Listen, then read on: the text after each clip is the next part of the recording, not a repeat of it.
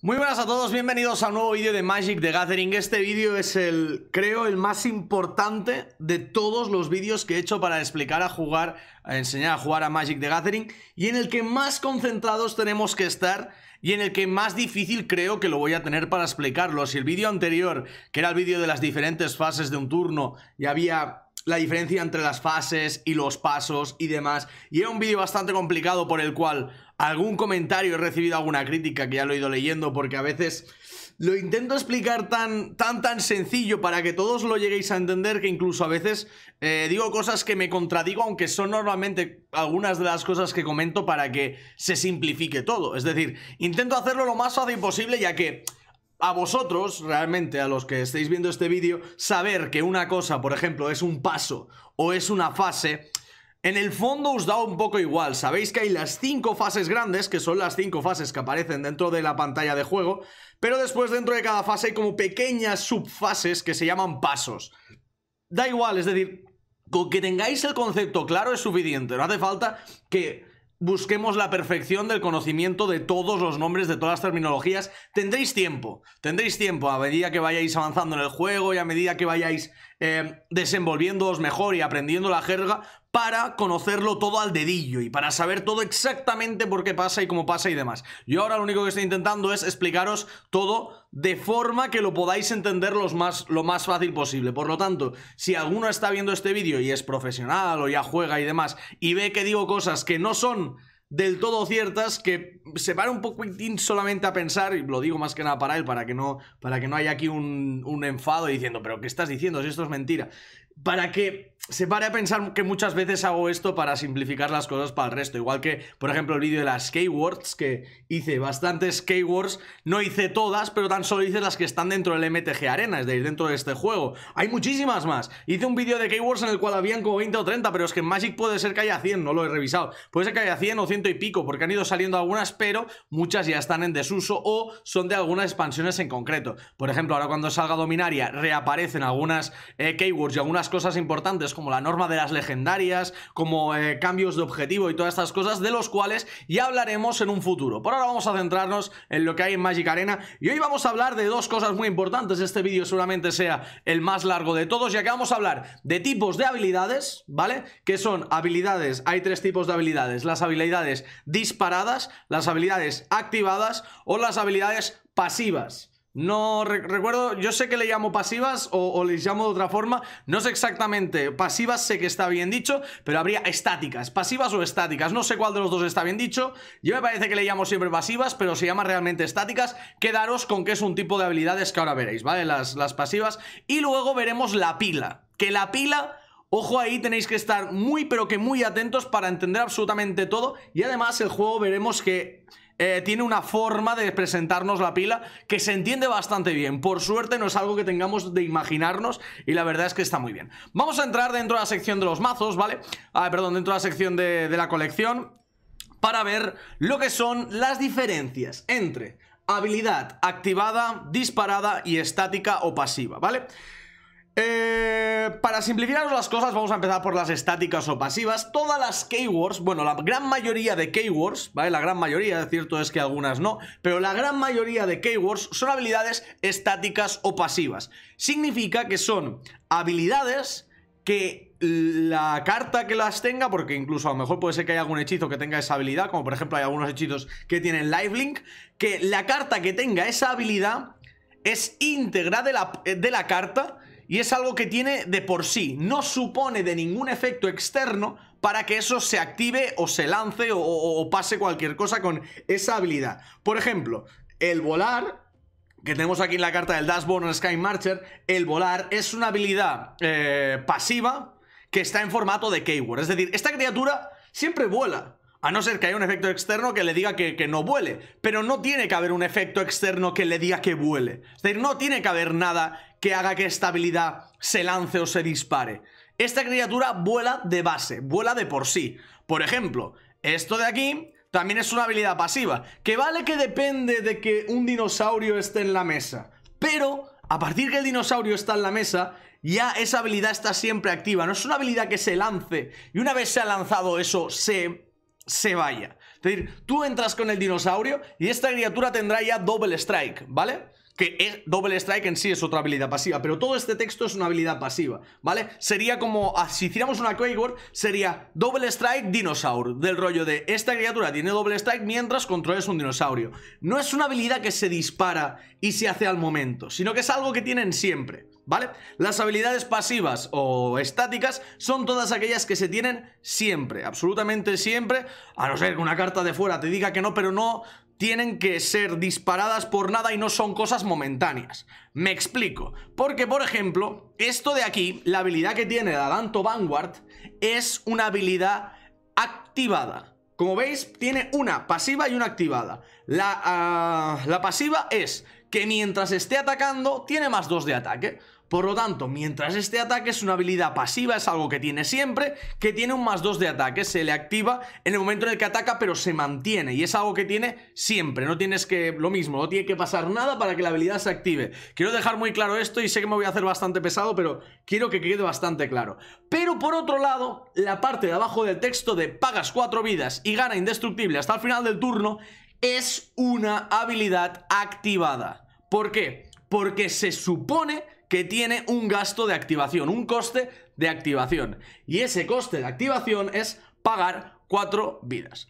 Todas aquellas habilidades que tengan eh, una habilidad que se tenga de pagar algo para activarla, que tengas de pagar tú precisamente algo para activarla, son habilidades activadas. ¿Vale? Se tienen que activar. Entonces, por ejemplo, activadas aquí dentro de esta primera página de la colección, tendríamos la habilidad de abajo del Dashborn Sky Marcher, que tienes que pagar eh, un mana blanco y girarla para que un vampiro atacante gane más uno más uno. Eso es una habilidad activada. ¿Vale? Se activa.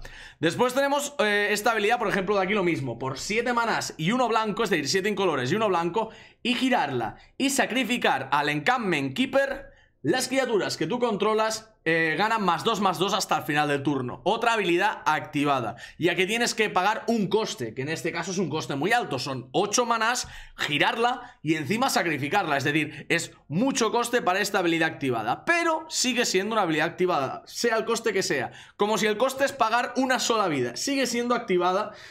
Y ahora veremos eh, por qué influye todo esto en la pila. Me gustaría hablaros de la pila después, pero ahora vamos a ver todo el tema este de las habilidades y después vemos cómo interactúan con la, con la pila, que son bastante interesantes. Cierto es que me dejo un tipo de, habilidad que no, no, la, no la tengo en cuenta normalmente, que es la habilidad de. Una, una habilidad de agregar mana, ¿vale?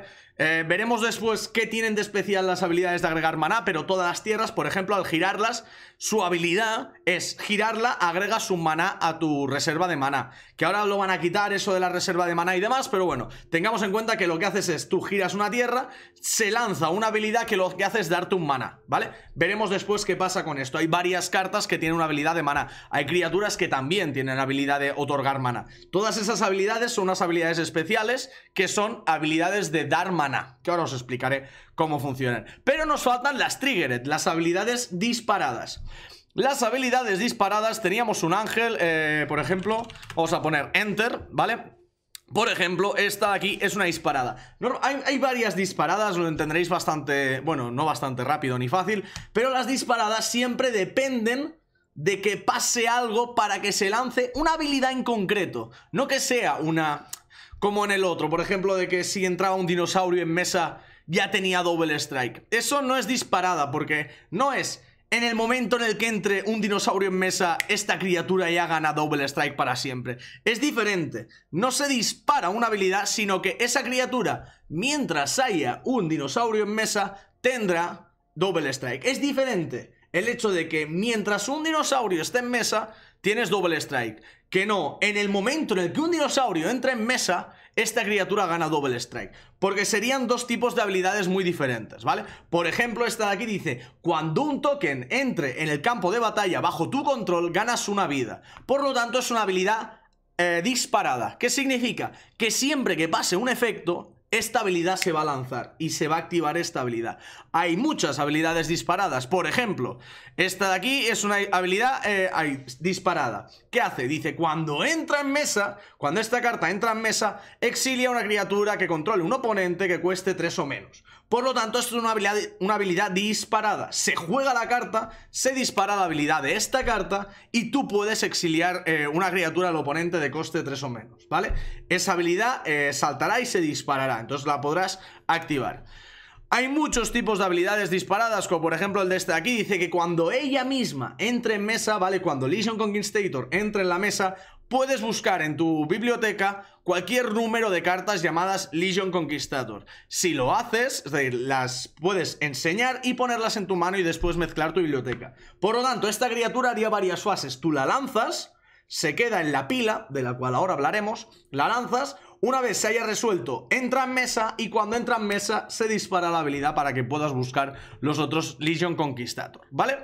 Estos son los cuatro tipos, hemos dicho al final, porque también están las habilidades de maná, que veréis que hay algunas que dicen add, eh, ¿cuál era? Una, había una verde, por ejemplo, que tiene habilidad de maná. Esta, ¿veis? Por ejemplo, pone aquí abajo, ¿veis? Pone girarla, aquí, girarla, remove un contador 1-1 del Channeler Initiate, ¿vale? Que hay criaturas que pueden poner contadores más 1, más 1, menos 1, menos 1. Y pone, añade un maná de cualquier color a tu, a tu reserva de maná. ¿Veis el texto? Por lo tanto, al ser una habilidad de maná tiene un efecto especial, ¿vale? Porque todas las habilidades que he ido contando ahora, ¿vale? Todas las disparadas, las activadas y las... Eh, ah, no, y las pasivas no, perdón. Solamente las disparadas y las activadas, ¿vale?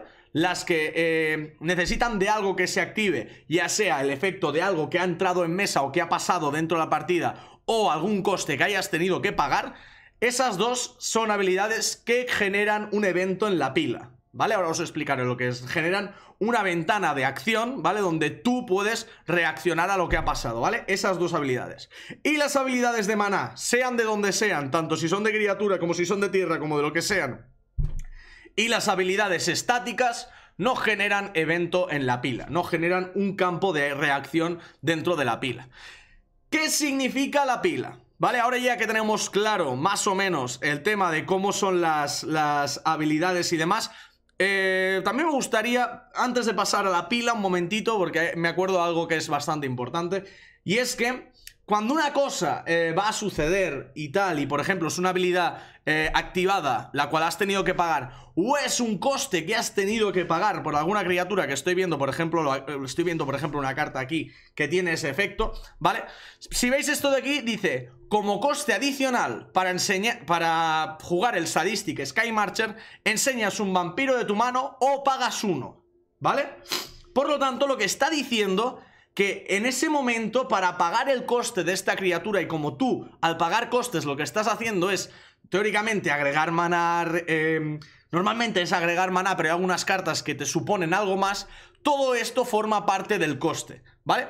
Eh, vamos a buscar alguna otra carta que ponga as, as an additional cost, es que hay una carta al Costly Plunder, lo voy a enseñar...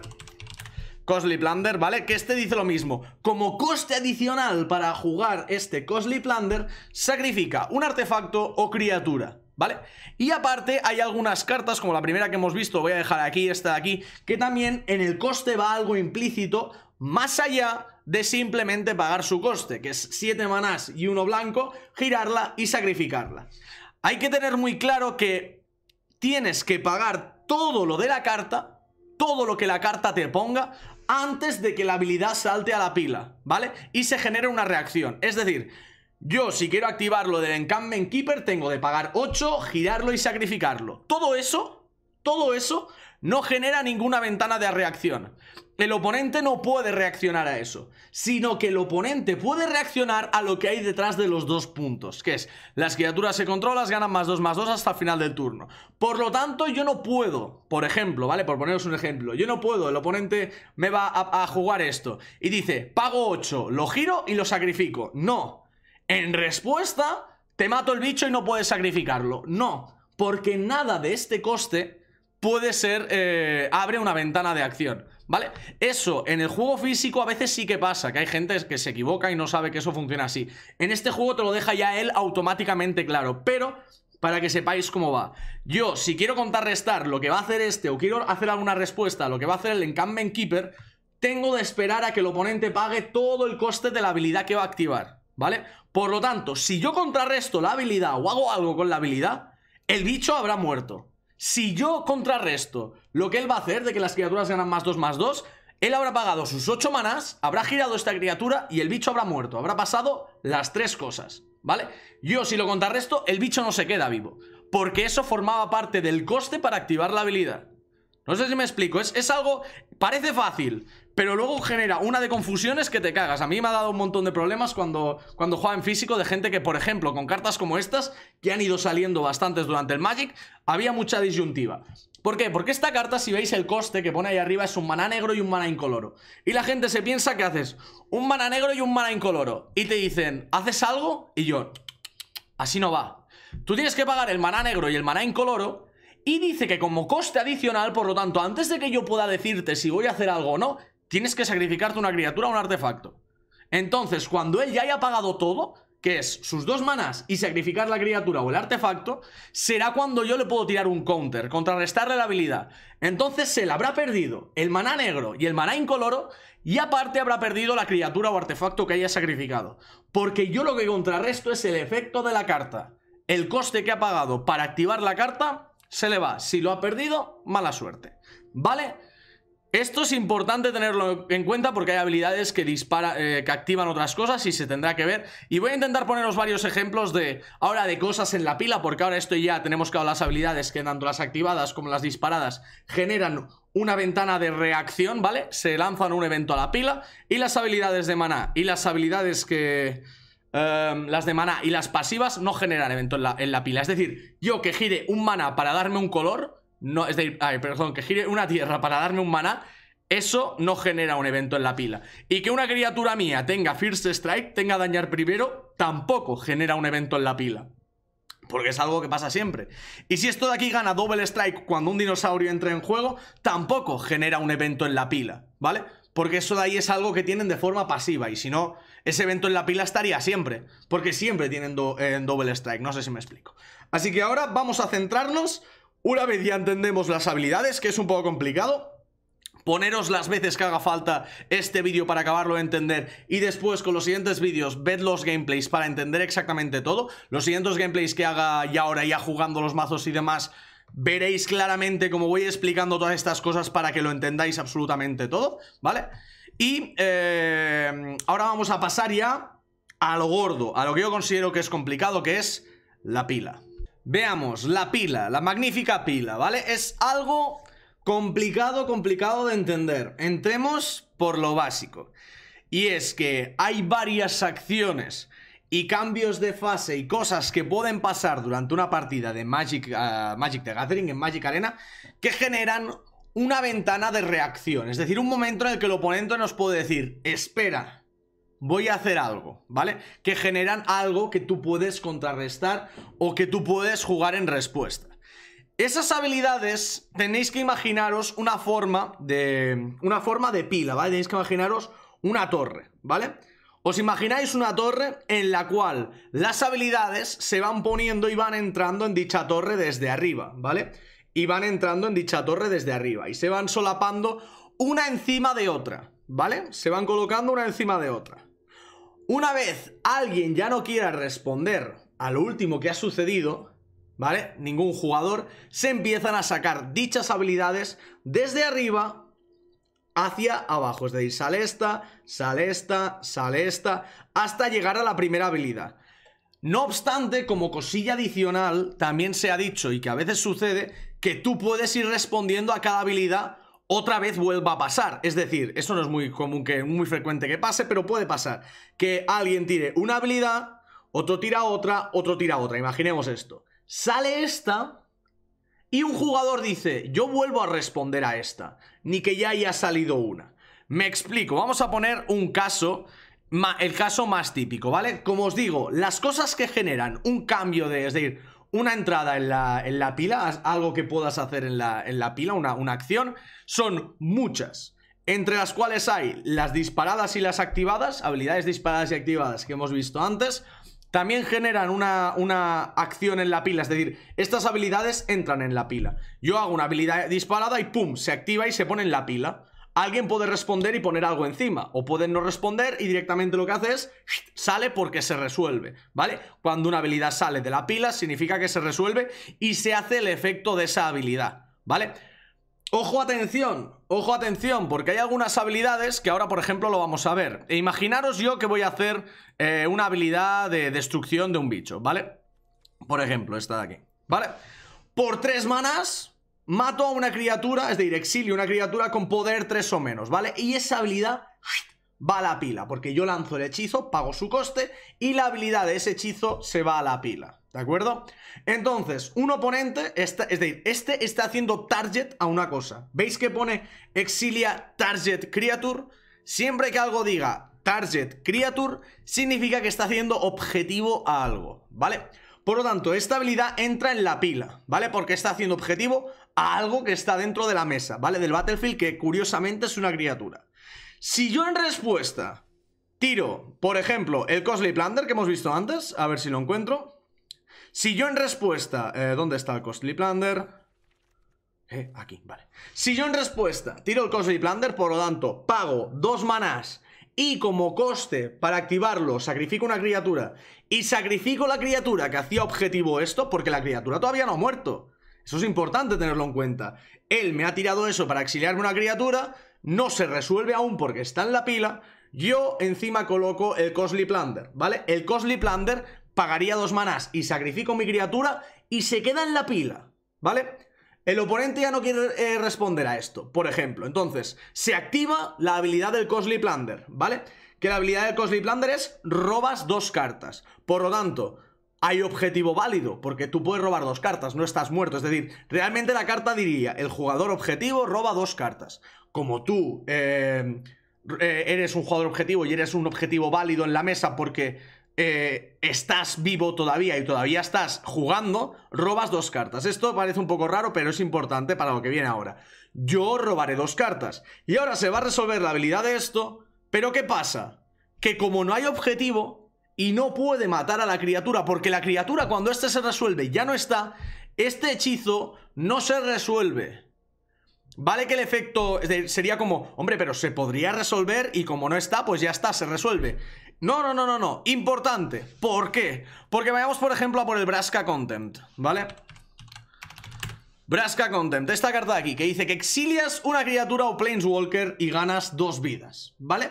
Exactamente lo mismo. Se lanza la brasca y tú ya decides a cuál le vas a hacer target. Eso no lo he explicado antes, pero tú cuando lanzas una cosa y vas a hacer target a algo, tú ya dices a qué le vas a hacer target. En el momento en que lanzas ese hechizo. Por lo tanto, yo lanzo el Brasca Contempt y mato una criatura. Y vamos a hacer lo mismo que el Cosplay Plunder. Tiro el Cosplay Plunder, me mato la criatura y robo dos cartas. Cuando se activa el Brasca Contempt, como no hay objetivo, el Brasca Contempt no se resuelve no se resuelve nada. Porque ahí pone, exilia una criatura o Planeswalker y ganas dos vidas. Esas dos vidas tampoco las ganas, porque el hechizo al quedarse sin objetivo, pierdes su objetivo y por lo tanto pierdes todo el efecto del hechizo. ¿Vale? Se pierde absolutamente todo el efecto del hechizo.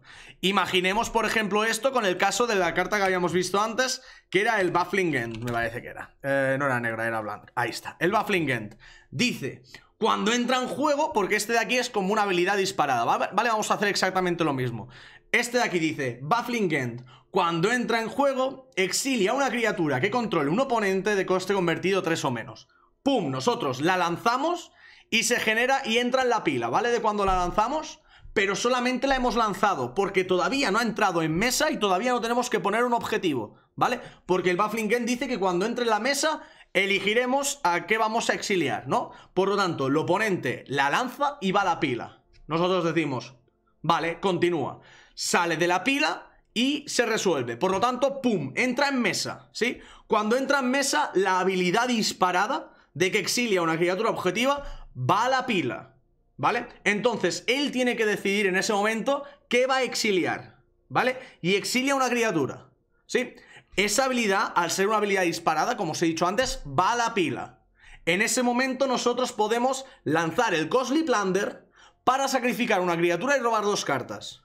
Lo lanzamos, el oponente no responde, sacamos el Cosmic Plunder del, de, de la pila, robamos dos cartas y al resolverse su habilidad de que exilia una criatura, como no hay objetivo, su habilidad se contrarresta. Pero el encantamiento este se queda en la mesa, porque es una habilidad disparada.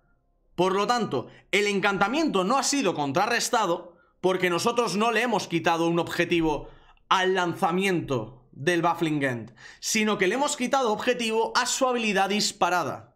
¿Vale?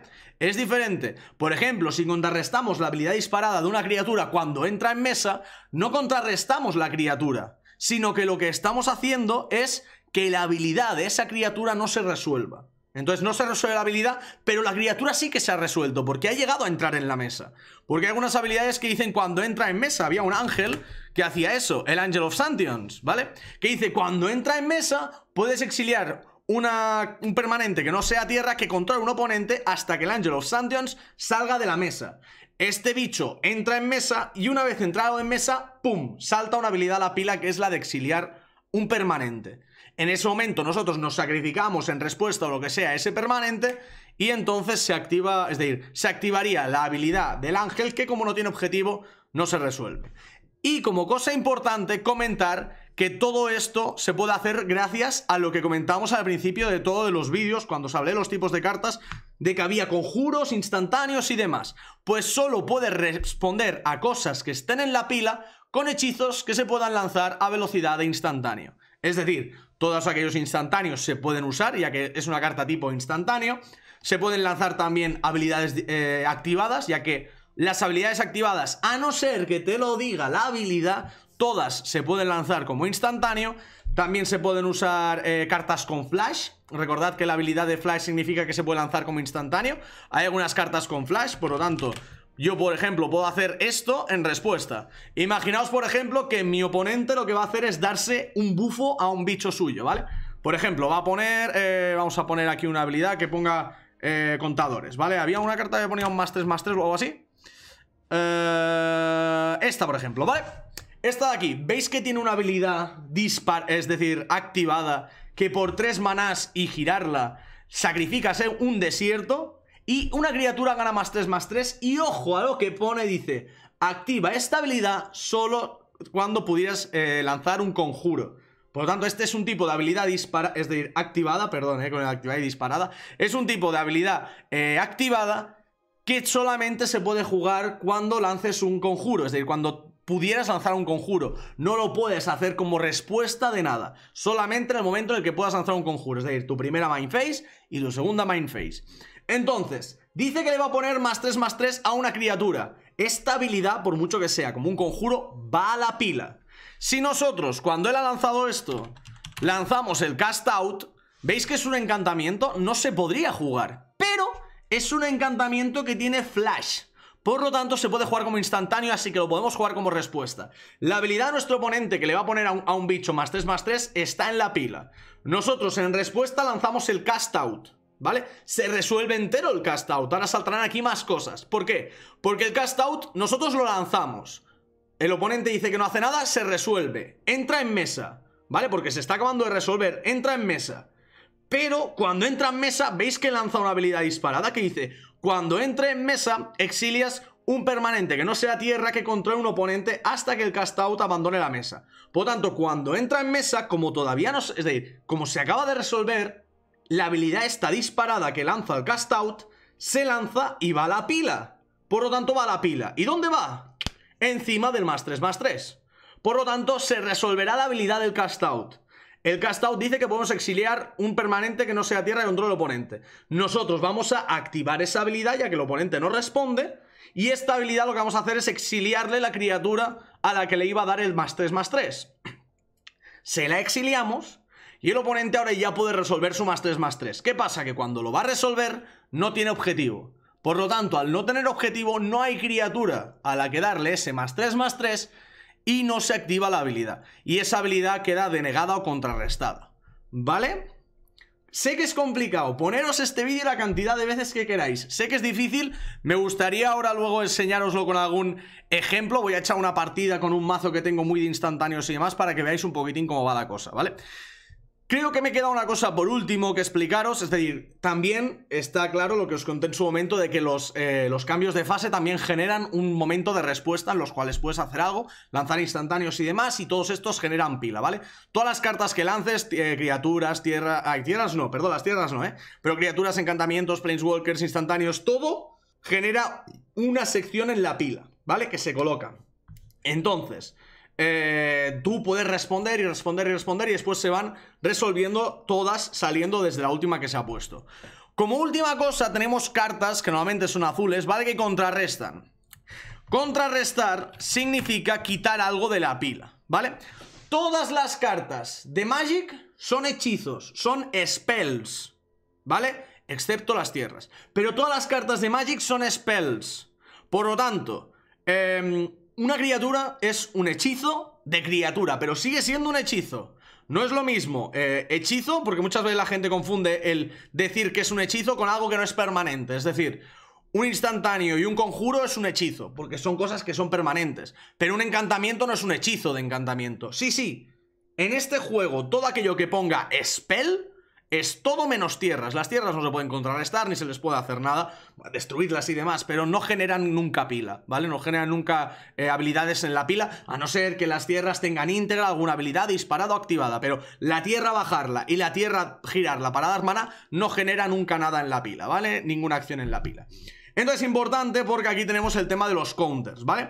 Por ejemplo, como veis, esta carta de aquí nos especifica que contrarresta un eh, target non-creature spell por lo tanto, contrarresta un hechizo que no sea de criatura. Cualquiera. Un Planeswalker, un instantáneo, un conjuro, un encantamiento, un artefacto, cualquiera. ¿Vale? Mientras no sea una criatura. Pone, a no ser que su controlador, que el controlador de ese hechizo, pague dos. Entonces, ¿qué pasa? Nosotros lanzamos un hechizo, ¿vale? Por ejemplo, imaginemos que nuestro oponente ha lanzado un hechizo que no es de criatura. Ya que tenemos aquí el Solemnity, imaginemos que ha lanzado el Solemnity, ¿vale? Lanza el Solemnity, ¿vale? Paga sus tres manas y lo lanza.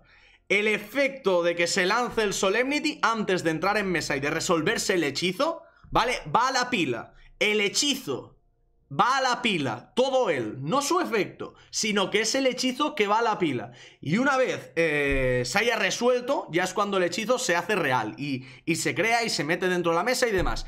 Pero por ahora está flotando, es decir, no está todavía en juego. Tú solamente has lanzado el hechizo, ¿vale? Y se coloca ese hechizo en la pila. El oponente puede tirar un Spell Pierce en respuesta. Por lo tanto, él lo que hace es, pongo mi hechizo, ¿vale? Que hace objetivo a tu hechizo, que está en la pila, ¿vale? Normalmente los counters hacen objetivo a las cosas que están dentro de la pila. Normalmente, ¿eh? algunas veces que lo hacen habilidades activadas y disparadas, pero esas habilidades activadas y disparadas también están en la pila. Pero bueno, normalmente hacen efecto... Es siempre, ¿vale? Siempre hacen efecto a las, a las cosas que están en la pila, ¿vale? Porque cuando tú contrarrestas algo, lo que estás haciendo es que no llegue a jugarse. Lo mismo que ha pasado antes cuando le hemos quitado el objetivo a algo que automáticamente se ha contrarrestado porque no es un objetivo válido y no puede resolverse, pues lo que tú estás haciendo es que ese hechizo no se resuelva, por lo tanto no llegue a hacerse realidad. Tú juegas el Solemnity y un oponente te tira el Spell Pierce, ¿vale? Y hace objetivo a esto. Por lo tanto, se resuelve el Spell Pierce y dice, yo voy a quitarte este hechizo de aquí a no ser que pagues dos manas. El oponente paga dos manas, pues como los ha pagado, el Spell Pierce se resuelve ya que los ha pagado y el Solemnity entraría en mesa. Pero si no paga los dos manas que le pide el Spell Pierce, este hechizo queda contrarrestado. Por lo tanto, se disuelve, se va de la pila y no llega nunca ni a intentar salir de la pila y activarse. Directamente se ha difuminado dentro de la pila, se ha ido. Porque tú con un hechizo de arriba lo has contrarrestado. Y digo más, podrían pasar varias cosas dentro de la pila, ir poniendo cosas en la pila, y tú al final de todo tiras un Spell Pierce que haga objetivo a cualquiera de los hechizos que haya dentro de la pila que no sean de criatura. Puedes hacerlo. Imaginaos, por ejemplo, que por aquí en medio hay varias cosas y hay un hechizo por ahí en medio que es el que realmente quieres contrarrestar. Son cosas que no pasan casi nunca, pero quiero que queden claras. Por ahí en medio hay un hechizo que quieres contrarrestar. Tú pones arriba de todo el Spell Pierce y se resolverá. Y le dices, yo te voy a contrarrestar este hechizo de aquí, a no ser que pagues dos. El oponente no lo lanza y la pila ya se va a volver una locura. A veces ha pasado que las pilas se vuelven una locura, porque ese hechizo se retira de la pila. Imaginemos que hay cinco cosas que van a pasar y quitas la de en medio. Van a seguir resolviéndose por orden. Entonces tienes que ir con cuidado de que cada cosa que se resuelva tenga un target válido. Y sea, y sea lícito poder hacer eso. Es decir, tú vas a ir sacando todas las cosas y tiene que tener un target. Porque si no tiene ese target, las cartas van a ser contrarrestadas también automáticamente, ya que no les va a quedar objetivo. ¿Por qué digo esto? Y ya creo que entro en lo último de la pila y no sé si vamos a hacer una partida porque el vídeo está quedando muy largo, a lo mejor os lo explico ya todo mejor dentro de los gameplays porque a mí es algo que me gusta usar mucho, el tema de la pila. Vamos a ver una última cosa, habilidades activadas que no supongan de sacrificio, es decir, por ejemplo, había una, mira, hay una activada que hace un efecto, era, era de aquí que creaba un, token, Decía, exert por dos manás, exertabas al bicho este de aquí. Vale, este de aquí, ¿vale? Dice, tú lo giras y lo exertas, que exertar, lo... me parece que lo explique, ostras, puede ser que no lo explicara dentro de la dentro de la sección de palabras claves de, hora de devastación. Pero bueno, exertar es muy fácil, simplemente es que el siguiente turno no se endereza. Está un turno sin enderezarse, ¿vale? No tiene más. Lo que dice esta carta es que la giras y la exertas, por lo tanto, durante tu siguiente paso de enderezar, esta no se enderezará, y creas un token 1-1 con vigilancia. Pueden pasar dos cosas. Imaginemos que pasan dos cosas, ¿vale? Primera de todas, un oponente nos lo va a matar, ¿vale? Le, le dispara algo y nos lo va a matar. ¿vale? Esa habilidad va a la pila. Nosotros en respuesta lo giramos y lo exertamos y creamos un token de Warrior 1-1, ¿sí? Hacemos la habilidad. Por lo tanto, se sale la habilidad que es crear un, un token, ¿vale? Se crea el token en la mesa y luego sale la otra habilidad que nos mata el Steward of Solidarity. Por lo tanto, se nos queda un token 1-1 blanco en la mesa. ¿Qué pasaría si fuera al revés? Ahora lo veremos. Nosotros activamos la habilidad, lo giramos y lo exertamos y creamos un token de Warrior eh, con vigilancia en la mesa. Y nuestro oponente en respuesta nos tira un rayo y nos lo mata, ¿vale? Por lo tanto, sale de la pila el efecto del rayo, nos mata al Steward, pero la habilidad del Steward se activa también. Porque no tiene ningún target su habilidad. Es creas un token 1-1 blanco con vigilancia. No depende de que el Steward of Solidarity esté en la mesa para que eso se haga. Tú ya has pagado el coste, que era girarlo y exertarlo. Por lo tanto, hagas como hagas esta habilidad, vas a conseguir meter el token eh, blanco de guerrero 1-1, ¿vale? Hagas como la hagas, ya que no depende de tener un objetivo. Imaginemos que dependiera de, de que tuvieras otra criatura en mesa, ¿vale? Lo que dijera esto es, crea un token blanco 1-1 con vigilancia eh, siempre que tengas al Steward of Solidarity, ¿vale? Entonces, en este caso, si él nos tira un rayo y nosotros hacemos esa habilidad, se resuelve la habilidad y se crea el token porque todavía tenemos el Steward of Solidarity en mesa y luego nos lo matan. No obstante, al revés no pasaría, ya que nosotros hacemos la habilidad, nos tira el rayo, se resuelve el rayo, nos lo mata, y al salir la habilidad, como la habilidad especificaría que tenemos que tener el Steward of Solidarity en mesa, como ya nos lo han matado con el rayo y ya no está el Steward, no se crearía la habilidad.